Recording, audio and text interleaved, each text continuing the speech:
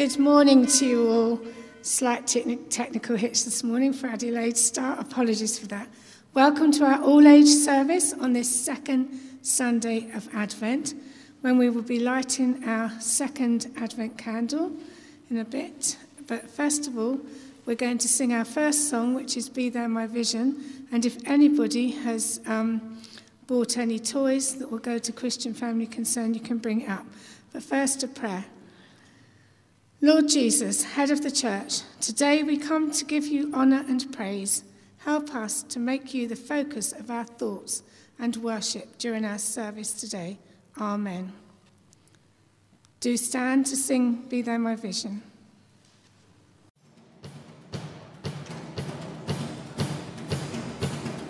Be thou my vision, O Lord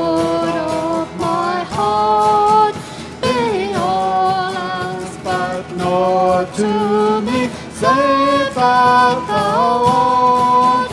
Be thou my birthday in the day and the night, both waking and sleeping, thy presence my light. Be thou my wisdom,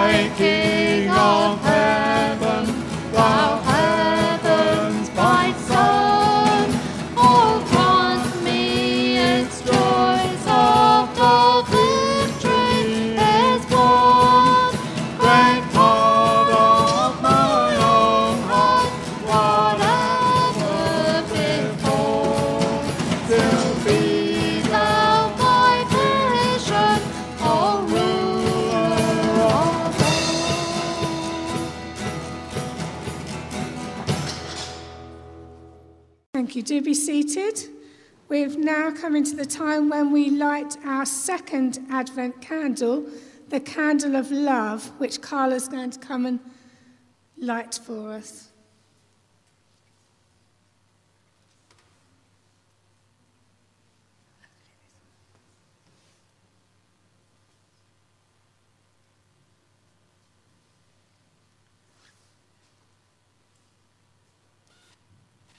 We seem to have a bit of a problem with the lighter again.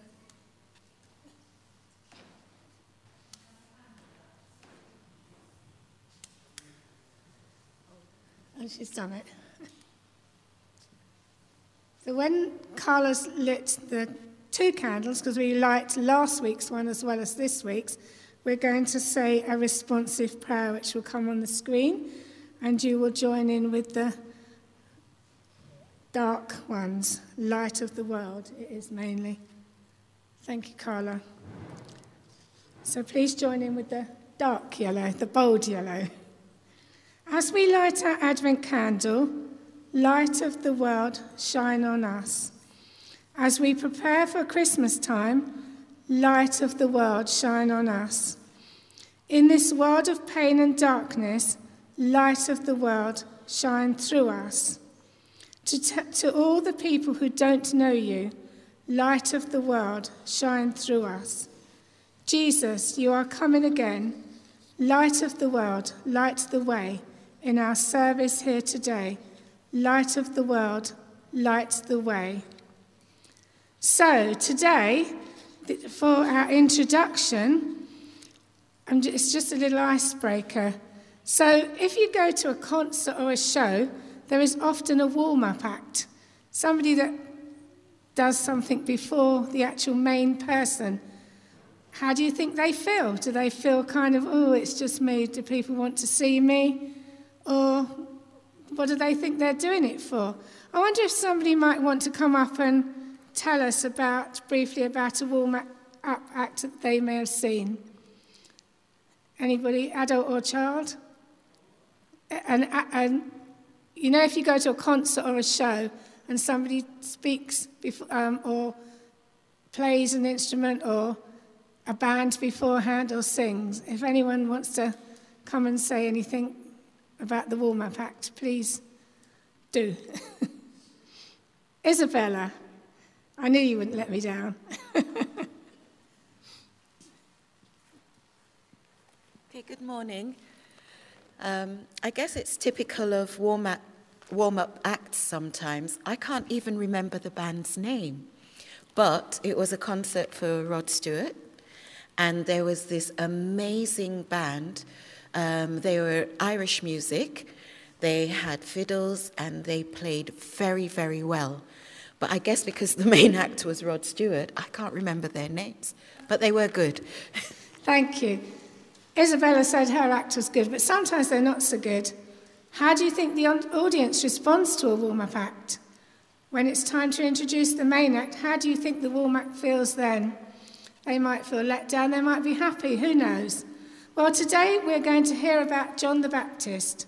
He was a prophet and a messenger, and he helped people see that we must prepare our hearts for Jesus. John the Baptist put a lot of effort into not being the centre of attention. He wanted people to focus on Jesus. So now we're going to come to our time of confession. So if we'd like to stand for that, please. This is an Advent confession for all ages. Together, Lord Jesus, we want to be ready for when you return. Please forgive us for the wrong things we have done and for the good things we have not done. We turn away from doing those wrong things together and ask for your help to put things right. Thank you that you died so that we can be forgiven. Help us to turn to you and follow you. Amen. And the forgiveness. Thank you, Lord, that when we confess our sins to you, you forgive us and give us a fresh start. Help us, Lord, to walk closely with you until the day that we meet you face to face. Amen. Do be seated. Now we're going to bring forward the Matthew reading now, which Jennifer's going to read. Now you need to listen very carefully because there's a quiz afterwards.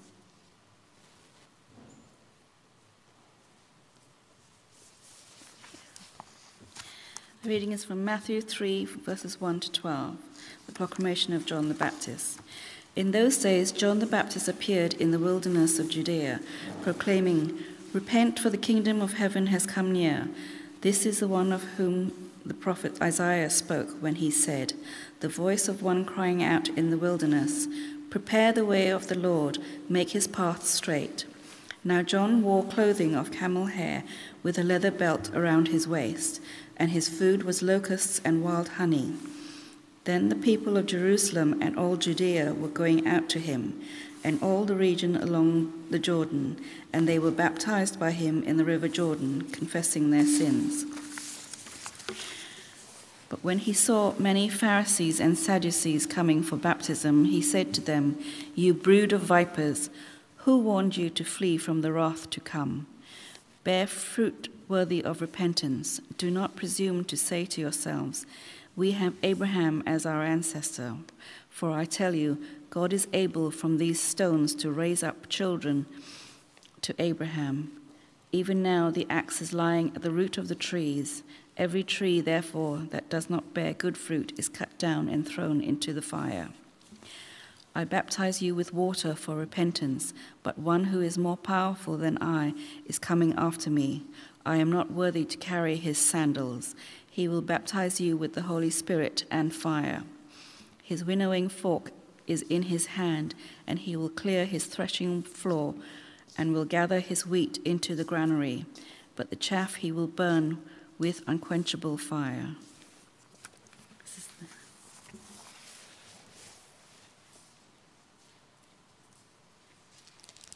Thank you, Jennifer. Now, I hope you're all listening. Seems a bit unfair. We have less people on this side, but I'm sure your brains will be able to. Oh, Amanda's going over. That gives you an even better chance. So it's this side and this side. So, Jennifer, if you keep the score for your side, please. And Amanda, you keep the score for your side. So I think we'll start with the smaller side. So, that's this side. Where was John the Baptist when he was preaching? Just call out the answer. Not quite. exactly, Helen. Thank you. In the wilderness of Judea. This side, which Old Testament prophet called John the Baptist a voice crying out in the wilderness? Isaiah, yes. And Jennifer, no cheating, if that's all right. I think you need to put you need to put the um, reading in front of you. yes, that's one all now. What food did John the Baptist eat? That this side. Locusts and wild honey. L- lovely or not? what did John the Baptist wear? This side. Someone put, put um, Carl. He wore clothes, yes. What, what were they made from? Camel's hair. And what else did he wear? A leather belt. It- yes. Well done. Now your answer comes in, Manas, I think. Which river did John the Baptist ba- baptize the people? The River Jordan. Right, Jennifer's side. For what purpose did John the Baptist baptize people? It's this side, sorry.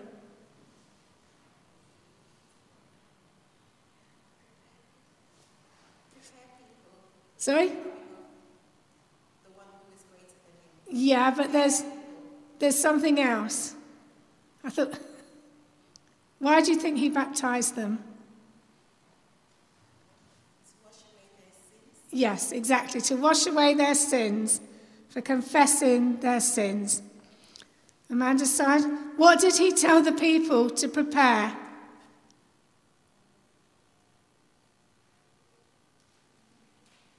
Sorry, I can't, can't hear you, Rose.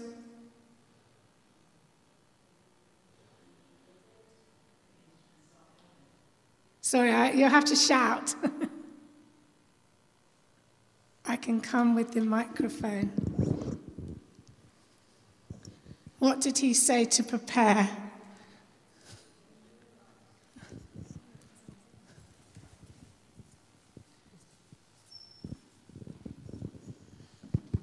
Said, prepare your hearts. Prepare your hearts, yes, but there's, there's another answer that was in the reading. Come on, Amanda, you must know this. Ron. For Christmas. Yeah, prepare for Christmas, yeah, but not in the reading. Anyone from this side? You've, you've had two chances. Anyone from this side? Yes, yes, yes. The way, Yes. For who? Jesus. Yes, prepare the way of the Lord. That's an extra point to this side. Remember that, Jennifer? I don't think you got it. You got it on that side. You could be bringing another answer. Okay. Oh, okay, sorry. okay. Well, maybe he was Isaiah. okay, we'll let you have let you have that. Which group of people did John the Baptist call a brood of vipers? This side, isn't it? Yes. Car- yes, the Pharisees and Sadducees. This side, speaking about Jesus, what did John the Baptist say he was unworthy to do? Carry his sandals. This side, John the Baptist baptized people with water. What did he say Jesus would baptize with? Carl. The Holy Spirit, yes, and what else? One more thing.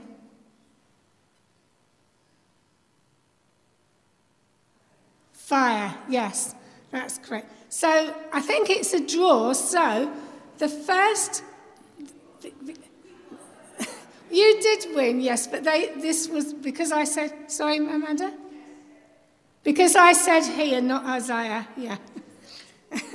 I think I changed my questions around in the order, so that's probably why it came out like that. I didn't copy and paste it right. Okay, the first person to shout out really loudly on any team the answer. What does the second Advent candle represent? Love. Love. Right. Isabella, you can share these jelly snakes. Now, I couldn't bring any locusts and I didn't bring honey, but this team can share the jelly snakes after the service. after the service. I thought jelly snakes was pretty good because I don't think I'd want to eat locusts, and I'm sure you wouldn't either. I'm not even keen on honey myself.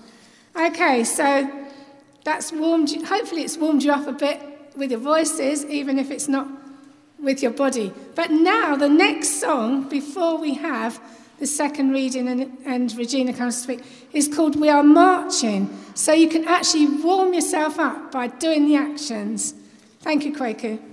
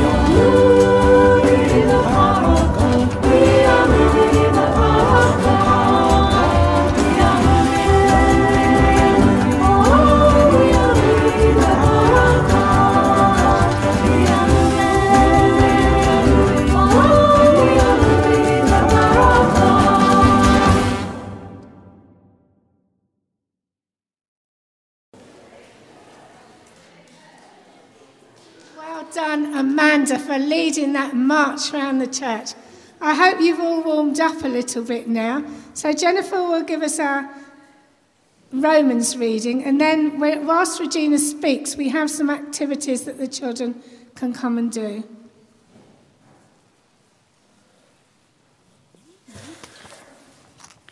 Readings from Romans 15, verses 14 to 13. For whatever was written in former days was written for our instructions, so that by steadfastness and by encouragement of the Scriptures we might have hope. May the God of steadfastness and encouragement grant you to live in harmony with one another, in accordance with Christ Jesus, so that together you may with one voice glorify the God and Father of our Lord Jesus Christ. Welcome one another, therefore, just as Christ has welcomed you, for the glory of God. For I tell you that Christ has become a servant of the circumcised on behalf of the truth of God, in order that he might confirm the promises given to the patriarchs, and in order that the Gentiles might glorify God for his mercy, as it is written. Therefore, I will confess you among the Gentiles and sing praises to your name. And again he says, Rejoice, O Gentiles, with his people. And again, Praise the Lord, all you Gentiles, and let all the peoples praise him.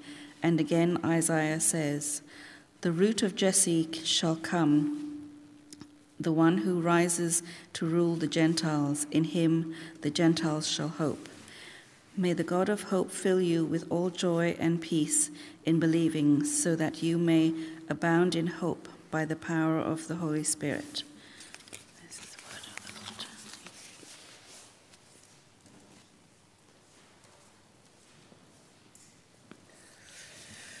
Hi, good morning, everyone. Hope you are nicely warmed up after that uh, march. Let's just uh, our hearts and our minds as uh, we prepare to hear God's word. Shall we pray?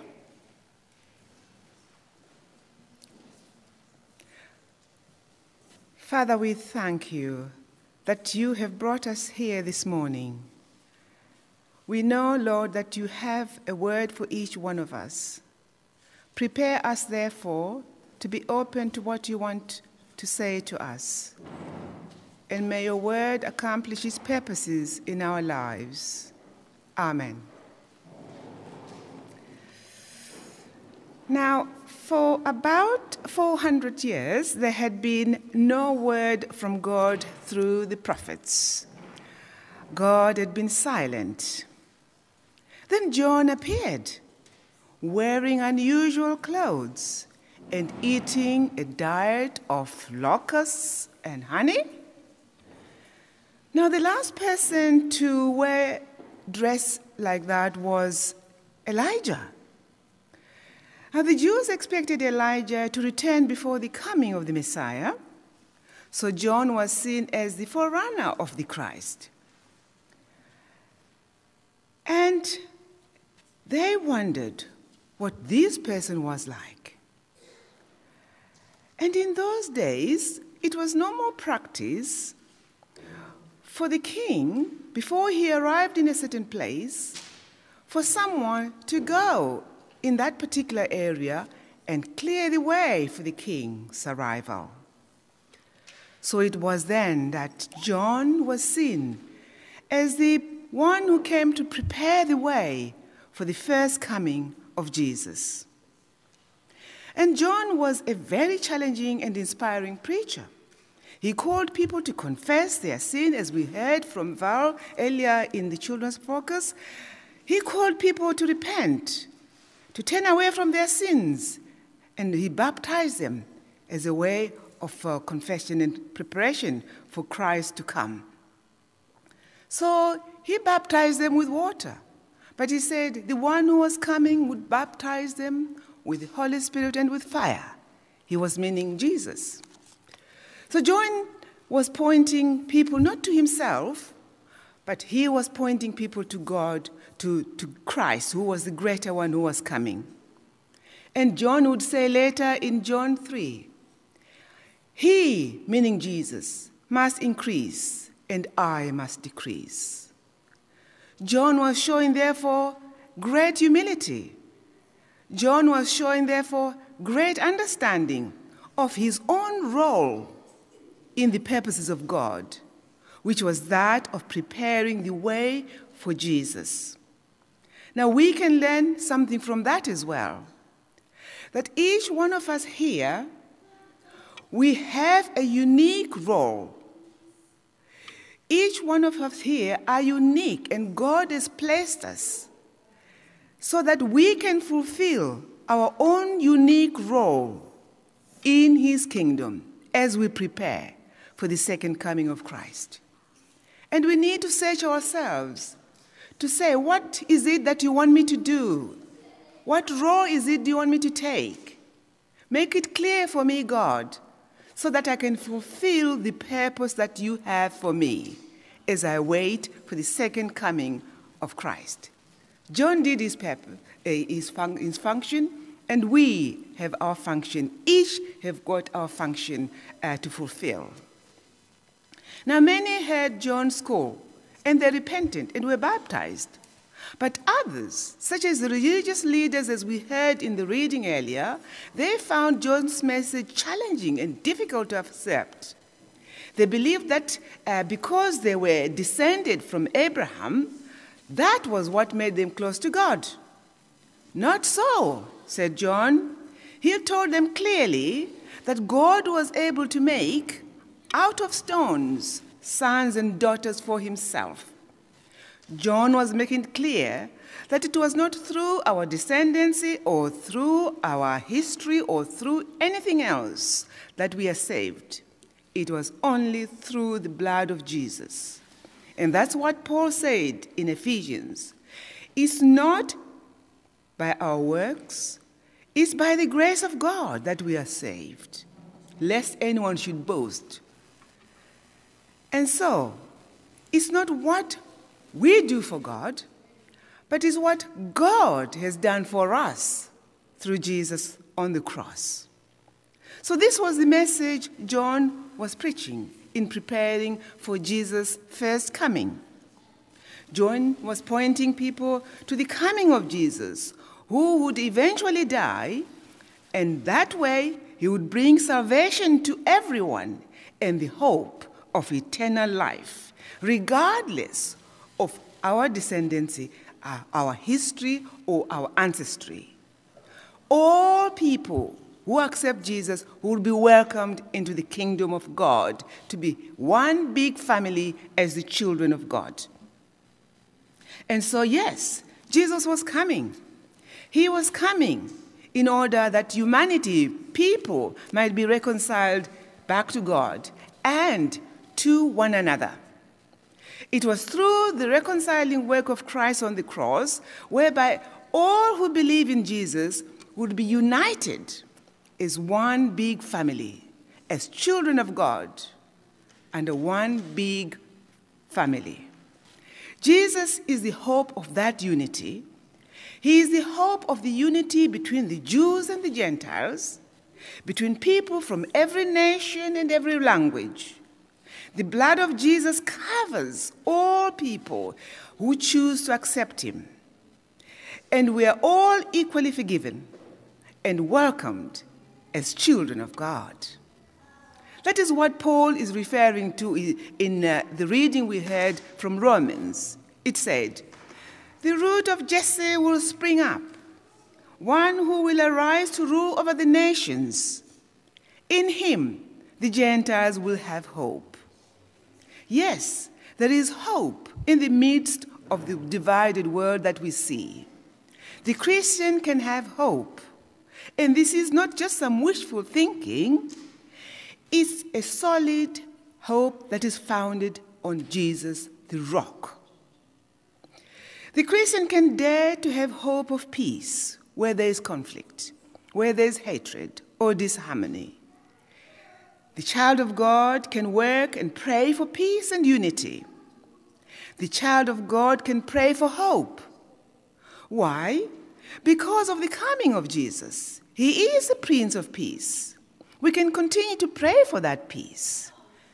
And now and again, we see glimpses of that peace. But real peace, lasting peace, will come when Jesus shall return to bring in a new heaven and a new earth, where he shall rule in ways of justice and peace. Now we get a picture of this sort of world order, the new world order that Jesus will bring in. We hear in Revelations. It says, I saw a new heaven and a new earth, for the first heaven and the first earth had passed away. Look, God's dwelling place is among the people, and he will dwell with them. They will be his people, and God himself will be with them and be their God. He will wipe away every tear from their eyes. There will be no more death, or mourning, or crying, or pain, for the old order of things has passed away. He who was seated on the throne said, Look, I am making all things new. Then he said, Write these things down, for these words are trustworthy and true. I like that. These words are trustworthy and true. We need to know that the Word of God is trustworthy and true, and that Jesus will return just as, as God's Word says. Now, because we have this hope of a future with God in eternity, we can have peace in our hearts, even in the midst of life's storms. The presence of Jesus in our lives and the hope of a future with Him gives us peace and joy in the here and now. Now, as we have received this hope, how might we bring the same hope to those around us this Advent, here in our local community and in the world at large? Yes, we can do so through prayer for the poor, for those who are marginalized, for those who are ravaged by war and disease. Yes, we can pray.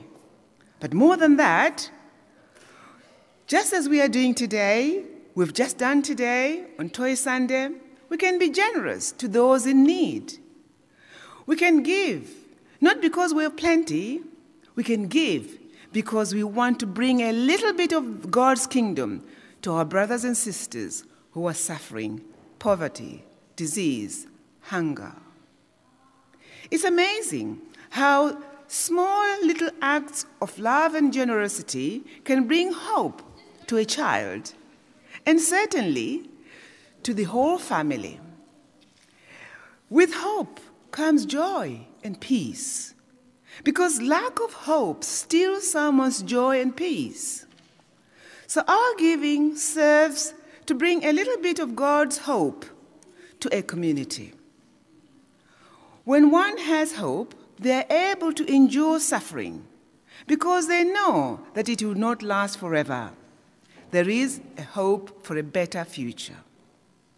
As someone has said, do all the good you can, by all the means you can, in all the ways you can, in all the places you can, at all the times you can, to all the people you can, as long as ever you can. And yes, we can pray and ask God to make us instruments of peace and unity in our places, in our community, in our homes, in our workplaces. There's so much on the news about division. You and I carry news of the Prince of Peace, the good news that he brings, the peace that Jesus only brings we can pray that He uses us as instruments to bring peace and reconciliation, to bring unity. Peace and love and reconciliation are the fruits of a people who belong to the kingdom of God, and you and I belong to that kingdom. We cannot produce that fruit in our own strength, but in the power of the Holy Spirit, who is given to us as we accept Jesus into our lives. Yes, that's why we heard in the reading earlier that when Jesus comes, he will baptize with the Holy Spirit. Yes, and Jesus said the same. Before he left earth, he told his disciples that they would receive power from on high, referring to the Holy Spirit that each believer in Christ he will be sealed with the Holy Spirit, who empowers us to live a life as children of God, bringing a little bit of His kingdom to those around us.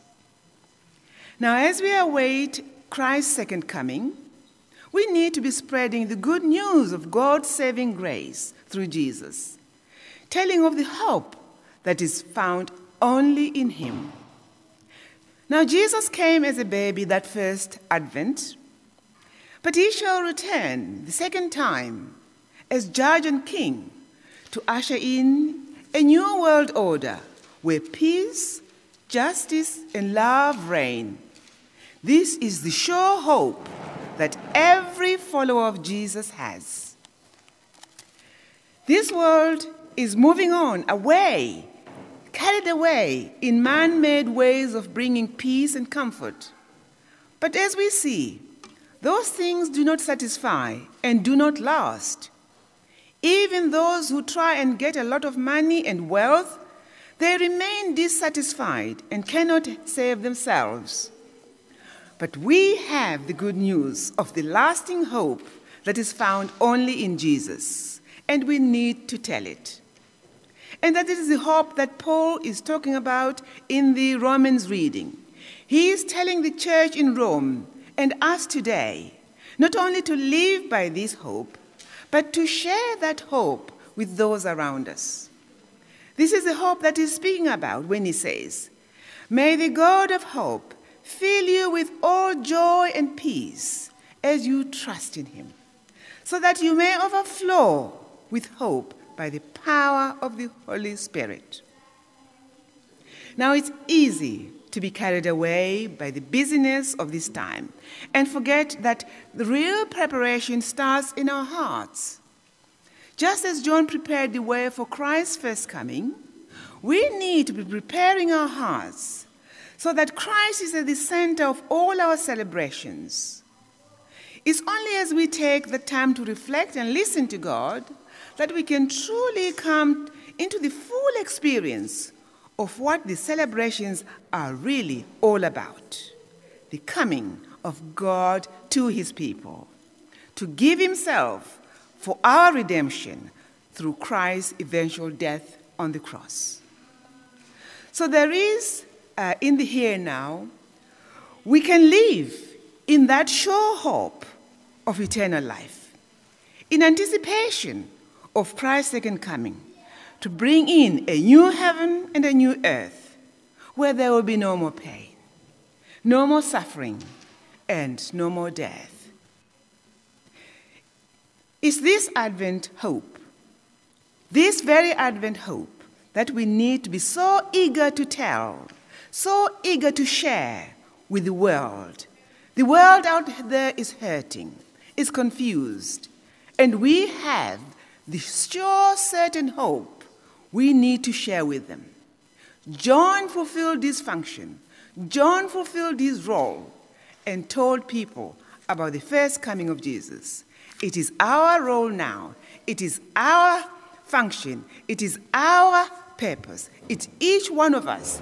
We've been placed here so that we can tell people, we can tell the world, we can tell the world of the hope that is found only in Jesus, of the hope that is found in the Christ child. And we need to be eager to tell that story, that as John the Baptist did, he set us an example, and we need to go out there and tell the world that in the midst of strife, in the midst of conflict, in the midst of challenges, there is hope in Christ Jesus. Amen.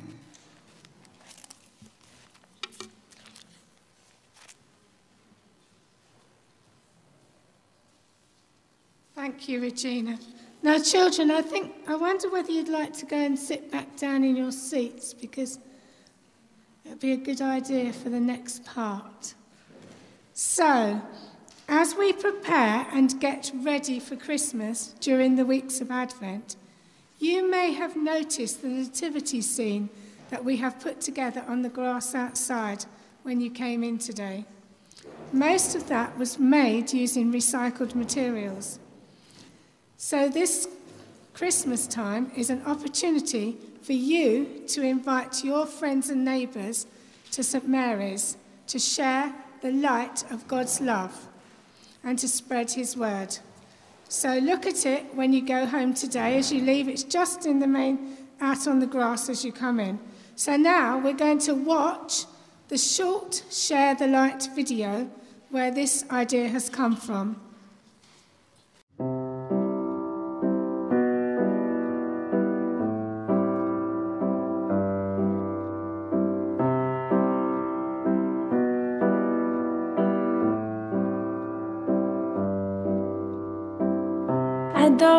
12 long days of Christmas.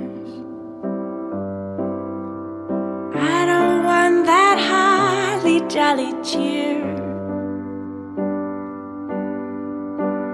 I don't need 12 long days of Christmas. I just need your Christmas presents here.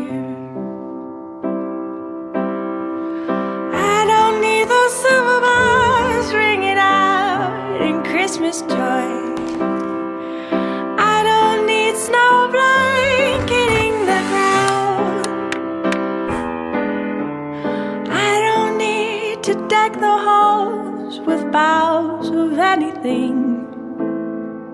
I just need your Christmas presents here. I don't hear angel choir singing.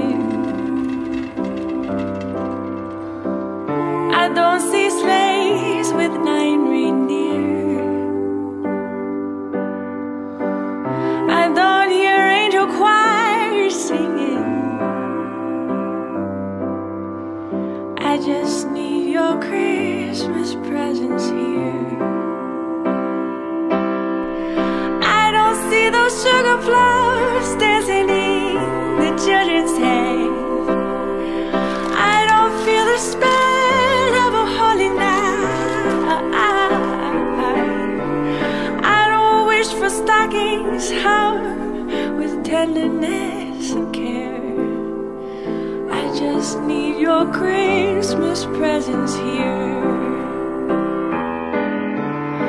I don't need this day to be the best one of the year. I just need your Christmas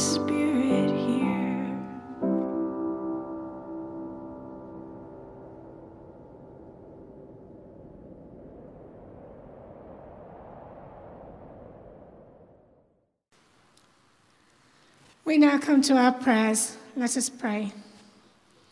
Father God, we praise you for your call on John the Baptist's life, for his call to us to change our mind and our ways. We praise you.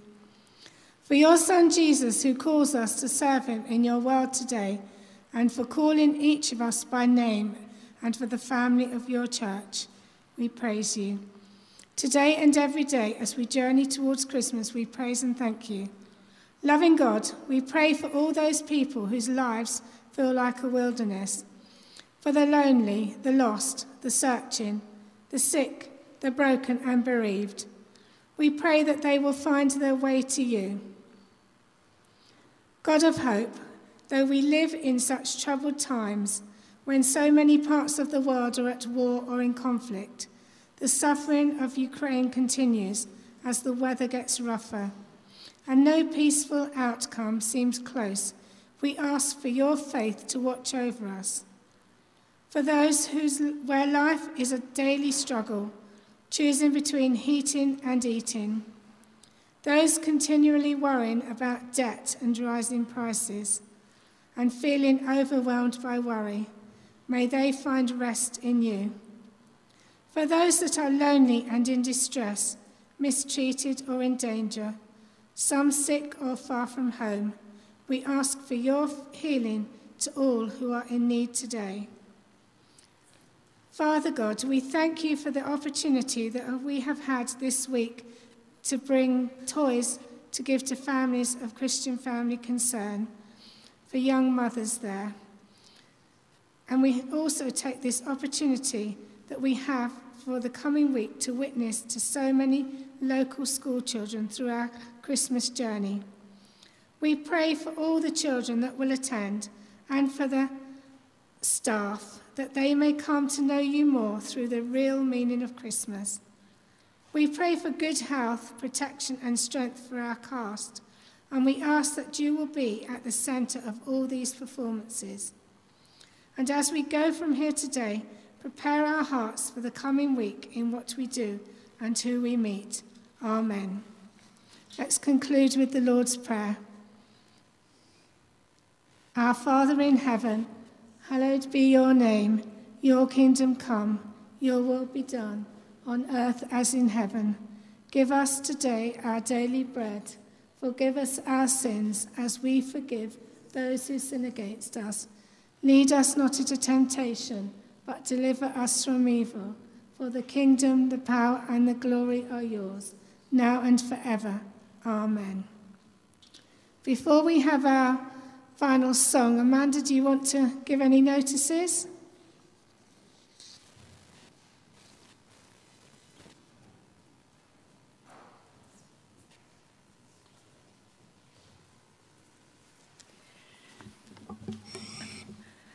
So thank you. Sorry about the heating. It did not come, it is actually on now if you go and stand by a radiator, but it didn't come on. It sort of switched itself off early morning. We think it may be a combination of wind and uh, a drop in the outside temperature leads to different pressures within the gas system.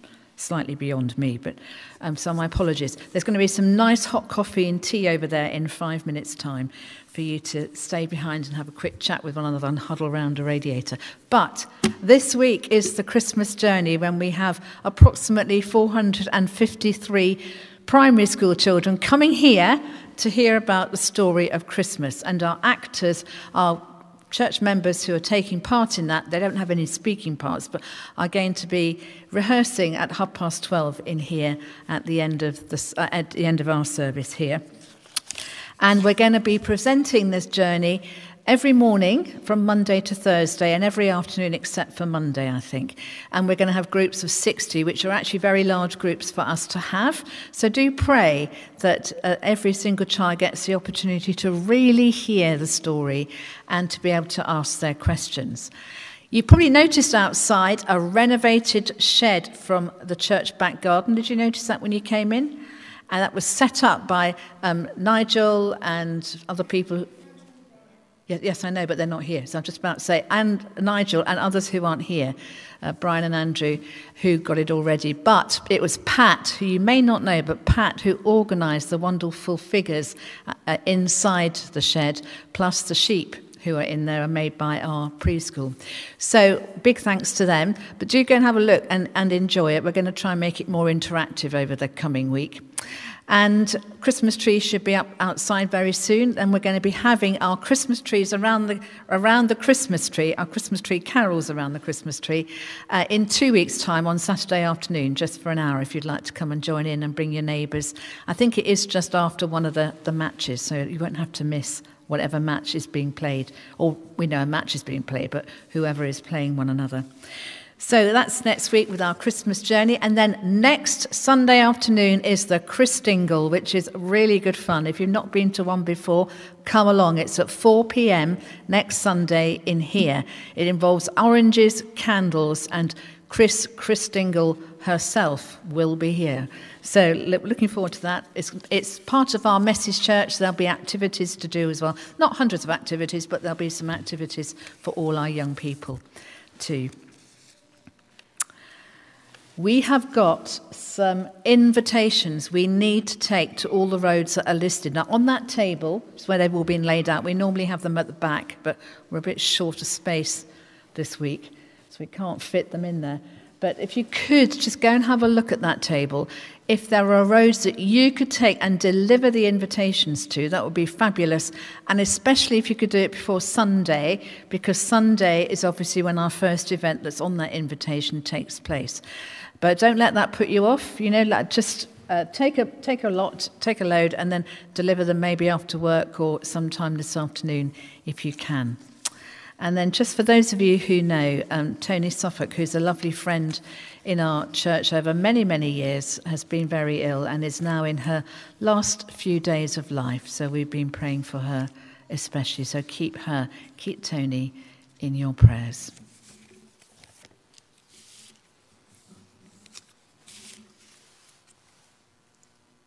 Just a couple of extra notices for the Christingle.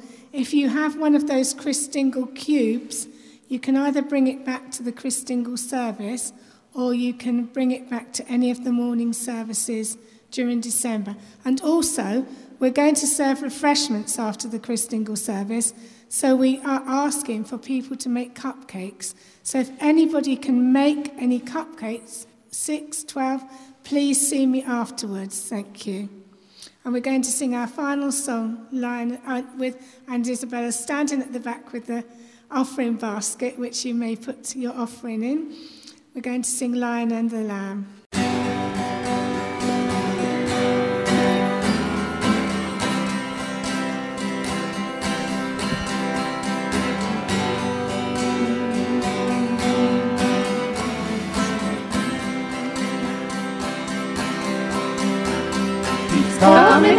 bows, kings and kingdoms will bow down. Every chain will break, as broken hearts declare his praise. Well, who can stop the Lord Almighty? Our God is the Lion.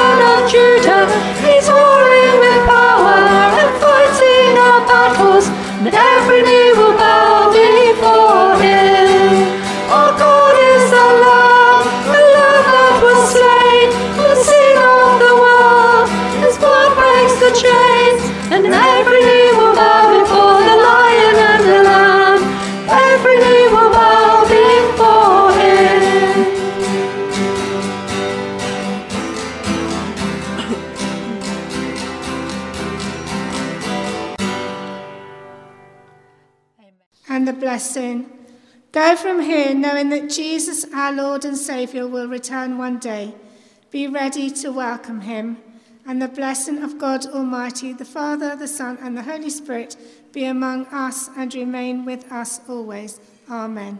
Do join for tea and coffee.